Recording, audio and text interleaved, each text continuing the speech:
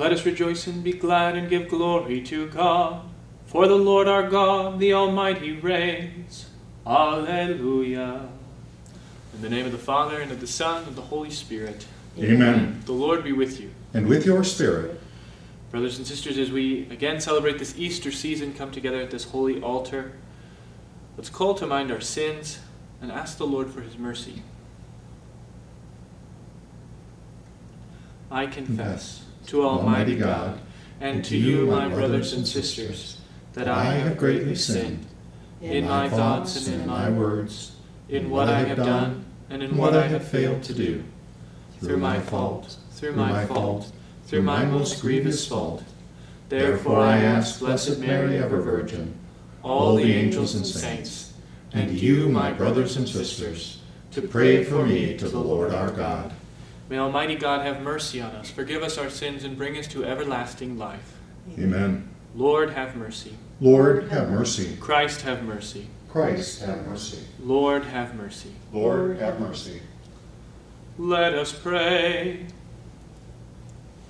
Enable us, we pray, Almighty God, to proclaim the power of the risen Lord, that we who have received the pledge of his gift may come to possess all he gives when it is fully revealed.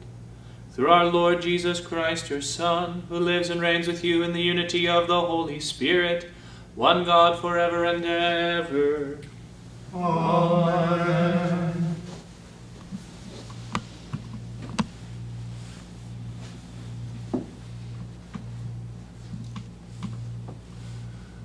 A reading from the Acts of the Apostles. The community of believers was of one heart and mind, and no one claimed that any of his possessions was his own, but they had everything in common. With great power, the apostles bore witness to the resurrection of the Lord Jesus, and great favor was accorded them all. There was no needy person among them, for those who owned property or houses would sell them, bring the proceeds of the sale, and put them at the feet of the apostles, and they were distributed to each according to need. Thus, Joseph, also named by the apostles Barnabas, which is translated son of encouragement, a Levite, a Cypriot by birth, sold a piece of property that he owned, then brought the money and put it at the feet of the apostles. The word of the Lord. Thanks, be to God. Our response is The Lord is King, he is robed in majesty. The The Lord is King, he is robed in majesty. The Lord is King, in splendor robed. Robed is the Lord, and girt about with strength. The Lord is King, he is robed in majesty. And he has made the world firm, not to be moved. Your throne stands firm from of old. From everlasting you are, O Lord. The Lord is King, he is robed in majesty. Your decrees are worthy of trust indeed. Holiness benefit befits your house, O Lord, for length of days. The Lord is King, he is robed in majesty.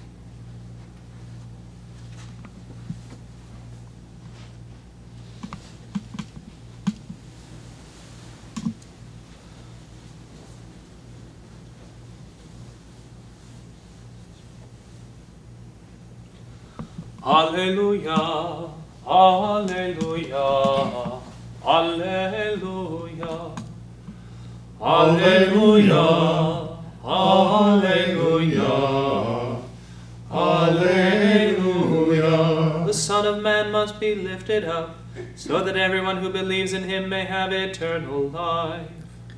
Alleluia, Alleluia, Alleluia.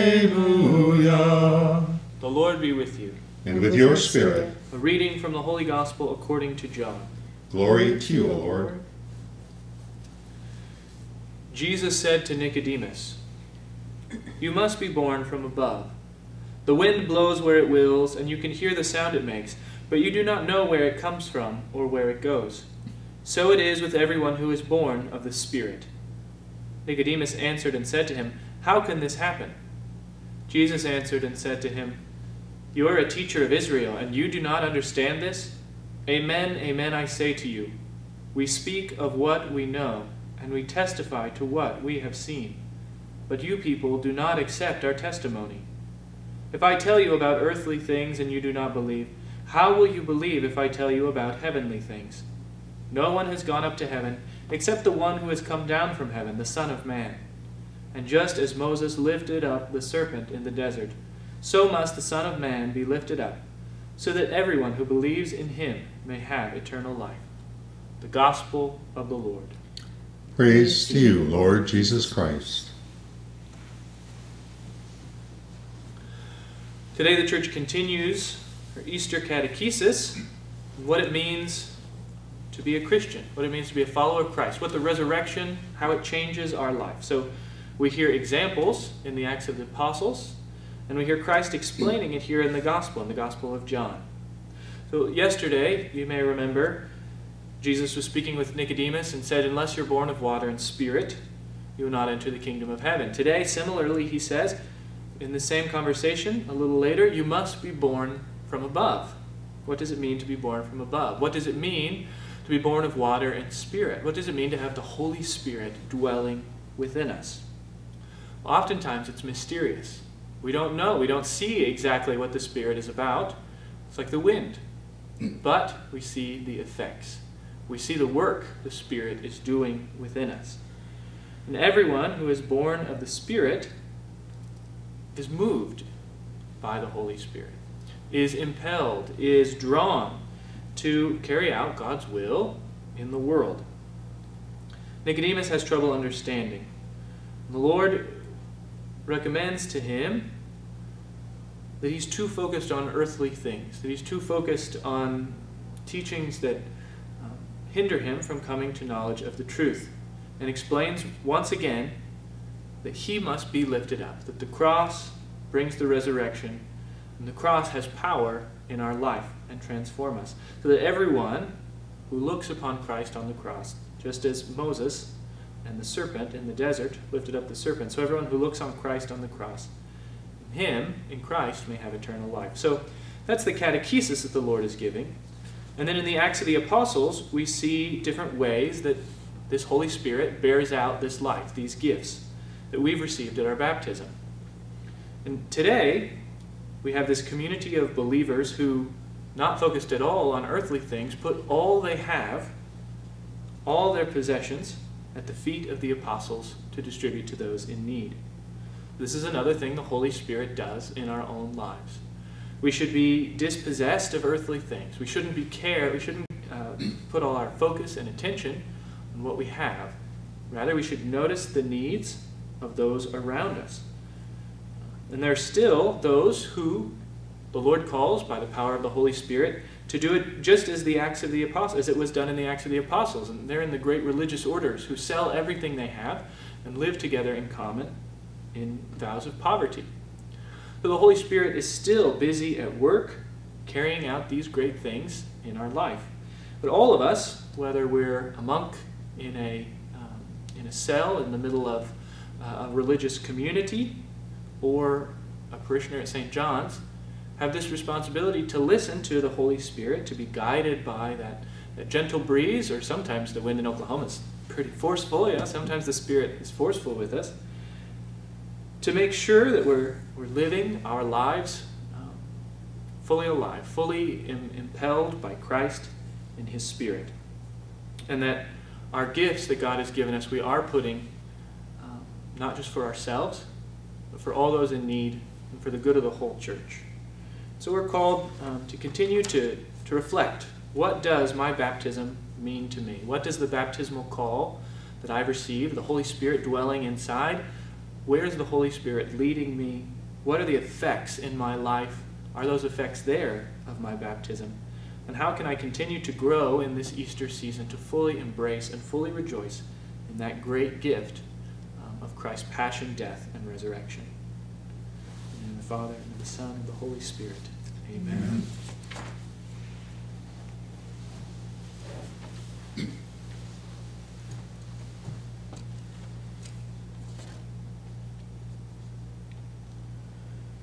As children of the Father and brothers of Christ, we gather our prayers and petitions and offer them to our Heavenly Father. For the Church and all believers, may the Holy Spirit always be our guide, giving wisdom to those who lead the Church, especially in this time. We pray to the Lord. Lord, hear our prayer. For our civil leaders, may God speak wisdom into their hearts, as Jesus did for Nicodemus. We pray to the Lord. Lord, hear our prayer. For those who are trapped in physical or spiritual bondage, may life in the Spirit lead to freedom and redemption. We pray to the Lord. Lord, hear our prayer. For this faith community, may God inspire us in our life of community, prayer, and generosity for all. We pray to the Lord. Lord, hear our prayer. And for the faithful departed, may God lead them into the glory of his kingdom. We pray to the Lord. Lord, hear our prayer. And for the intention of this holy Mass, we pray to the Lord. Lord, hear our prayer. We invite you now to add your own petitions from home.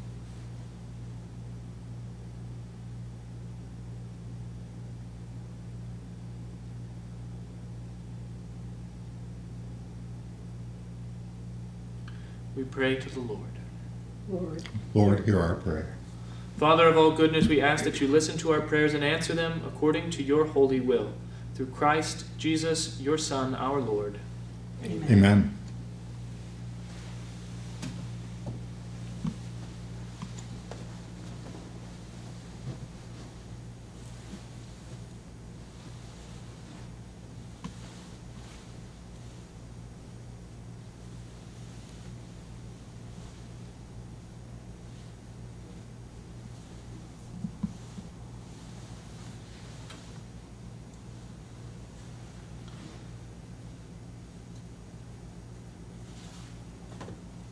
Blessed are you, Lord God of all creation, for through your goodness we have received the bread we offer you. Fruit of the earth and work of human hands, it will become for us the bread of life. Blessed be God forever.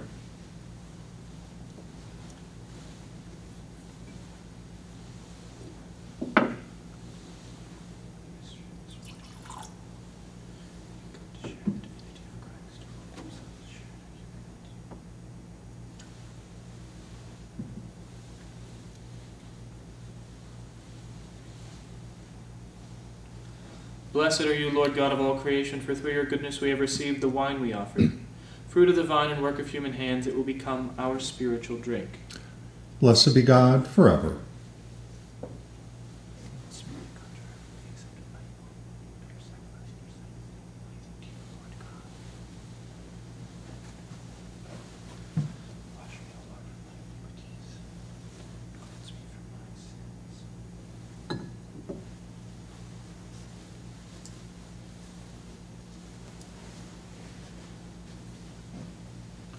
Pray, brethren, that my sacrifice and yours may be acceptable to God the Almighty Father. May the Lord accept the sacrifice at your hands, for the praise and glory of his name, for our good and the good of all his holy church. Grant, we pray, O Lord, that we may always find delight in these paschal mysteries, so that the renewal constantly at work within us may be the cause of our unending joy. Through Christ our Lord. Amen. The Lord be with you. And with your spirit, Lift up your hearts. we lift them up to the Lord. Let us give thanks to the Lord our God. It is right and just. It is truly right and just our duty and our salvation at all times to acclaim you, O Lord, but in this time above all to laud you yet more gloriously when Christ our Passover has been sacrificed. For he is the true Lamb who has taken away the sins of the world. By dying he has destroyed our death, and by rising restored our life. Therefore, overcome with paschal joy, every land, every people exults in your praise. And even the heavenly powers with the angelic hosts Sing together the unending hymn of your glory as they acclaim. Holy, holy, holy, Lord God of hosts, heaven and earth are full of your glory. Hosanna in the highest. Blessed is he who comes in the name of the Lord. Hosanna in the highest. To you, therefore, most merciful Father, we make humble prayer and petition through Jesus Christ, your Son, our Lord Make you accept and bless these gifts, these offerings, these holy and unblemished sacrifices, which we offer you firstly for your holy Catholic Church.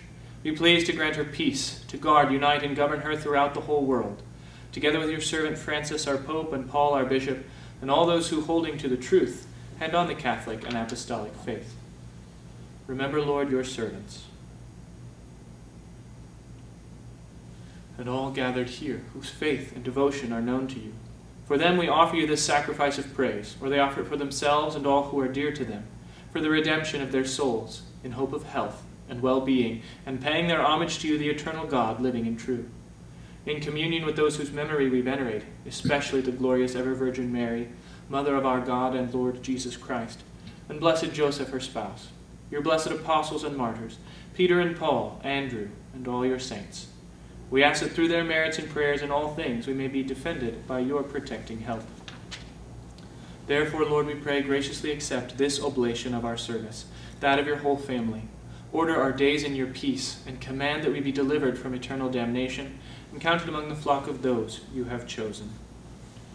Be pleased, O God, we pray, to bless, acknowledge, and approve this offering in every respect.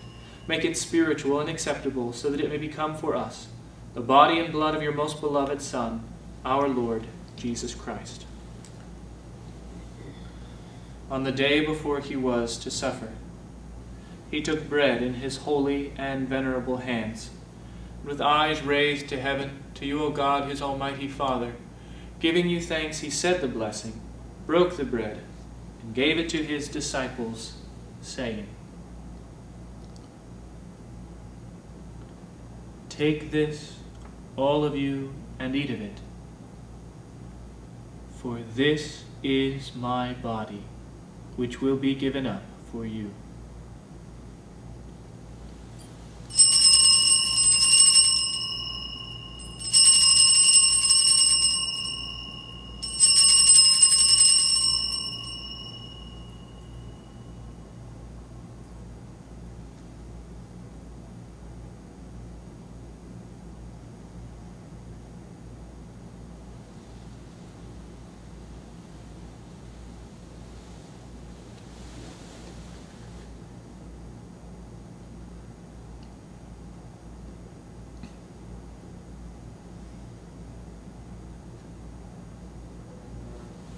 In a similar way, when supper was ended, he took this precious chalice in his holy and venerable hands.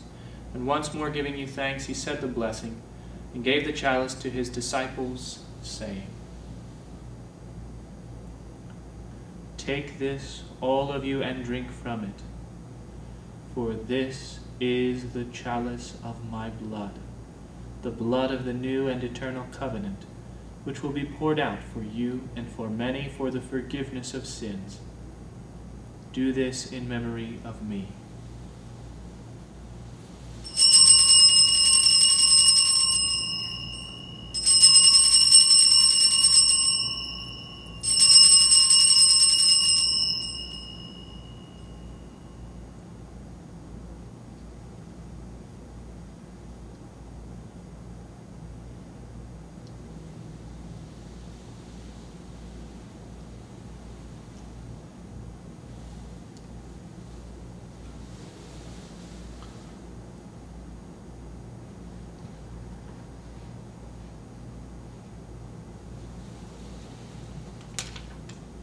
The mystery of faith.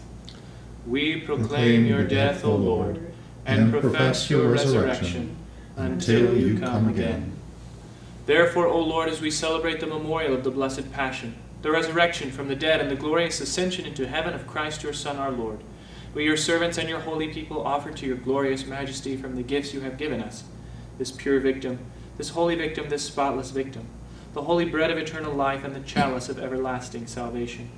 Be pleased to look upon these offerings with a serene and kindly countenance, and to accept them as once you were pleased to accept the gifts of your servant, Abel the just, the sacrifice of Abraham our father in faith, and the offering of your high priest Melchizedek, a holy sacrifice, a spotless victim.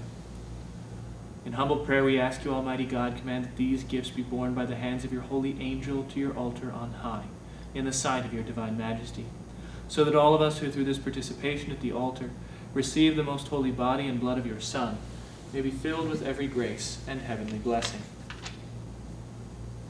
Remember also, Lord, your servants who have gone before us with the sign of faith and rest in the sleep of peace. Grant them, O Lord, we pray, and all who sleep in Christ, a place of refreshment, light, and peace. To us also, your servants, who though sinners, hope in your abundant mercies. Graciously grant some share in fellowship with your holy apostles and martyrs, with John the Baptist, Stephen, Matthias, Barnabas, and all your saints. Admit us, we beseech you, into their company, not weighing our merits, but granting us your pardon. Through Christ our Lord, through whom you continue to make all these good things, O Lord. You sanctify them, fill them with life, bless them, and bestow them upon us. Through him and with him and in him, O God, Almighty Father, in the unity of the Holy Spirit, all glory and honor is yours forever and ever. Amen.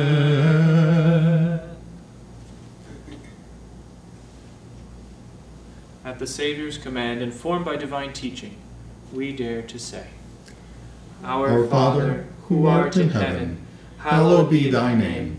Thy kingdom come, thy will be done, on earth as it is in heaven.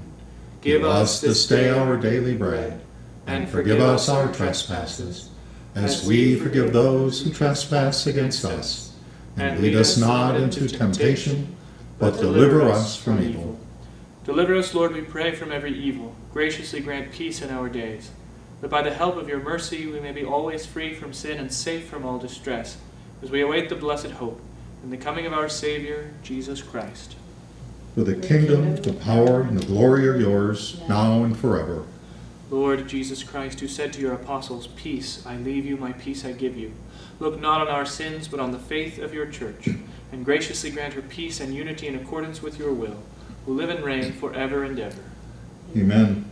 The peace of the Lord be with you always. And with your spirit. Lamb of God, You take away the sins of the world. Have mercy on us. Lamb of God, you take away the sins of the world. Have mercy on us. Lamb of God, you take away the sins of the world. Grant us peace.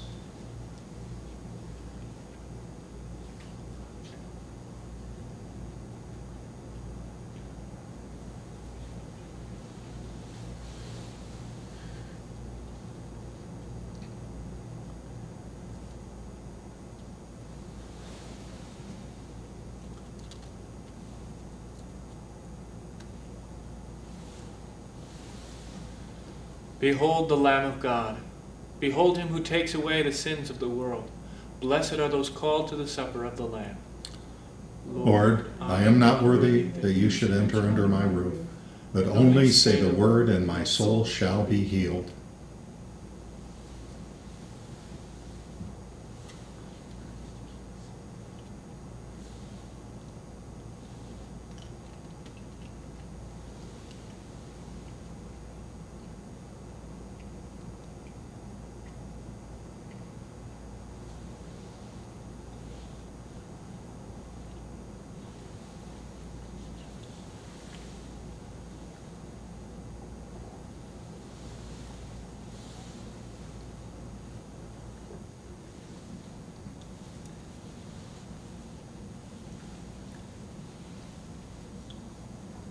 Let's pray together our prayer, spiritual communion. My, My Jesus, I believe that you are truly present in the most blessed sacrament. I love you above all things, and I desire to possess you within my soul. Since I am unable now to receive you sacramentally, come at least spiritually into my heart. I embrace you as being already there, and unite myself wholly to you.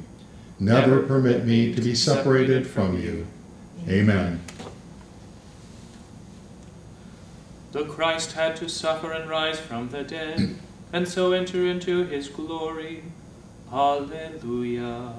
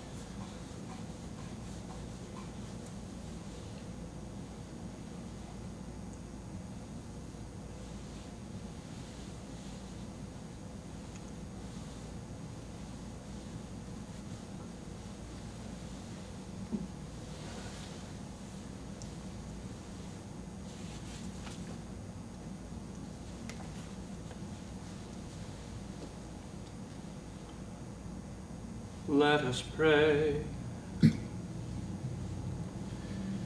Hear, O Lord, our prayers, that this most holy exchange by which you have redeemed us may bring your help in this present life and ensure for us eternal gladness. Through Christ our Lord. Amen. The Lord be with you. And with your spirit. May Almighty God bless you, the Father, and the Son, and the Holy Spirit. Amen. Go in peace. Thanks be to God. Saint Michael the Archangel, defend, Defend us in battle.